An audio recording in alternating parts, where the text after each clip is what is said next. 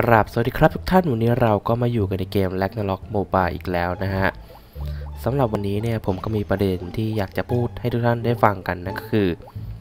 เรื่องที่ว่าถ้าเราจะไปเวลหรือจะไปบอทเนี่ยแล้วปรากฏว่าที่ที่เราอยากไปเนี่ยคนมันเต็มเลยนะจะทำยังไงนะครับ ซึ่งหลาย ๆ ท่านอาจจะรู้แล้วแต่หลายๆคนก็อาจจะยังไม่รู้นะครับเกมนี้มันย้ายช anel ได้นะฮะซึ่งวิธีการย้ายช anel เนี่ยก็ง่ายนิดเดียวเลยนะครับ ก่อนอื่นเราต้องมารู้กันก่อนว่าตัวเราเนี่ยอยู่ช anel อะไรนะวิธีการดูก็กด map เข้ามานะมันจะมี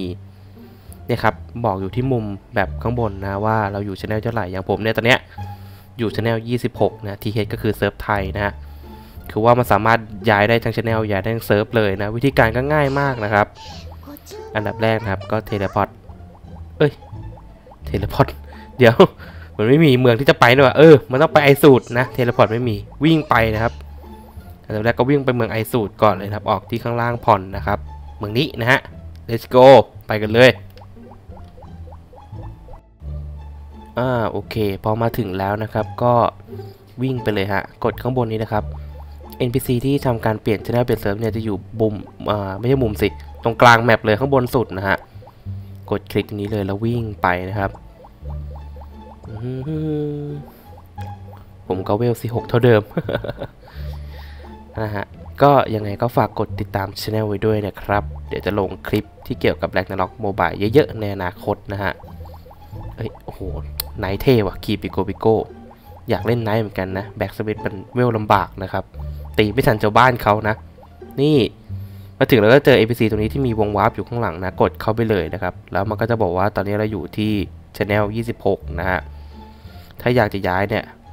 ก็กดนี่เปลี่ยนเซิร์ฟได้นะครับ มันจะมี EN เซิร์ฟไทยเซิร์ฟฟิลิปปินส์ PH เซิร์ฟ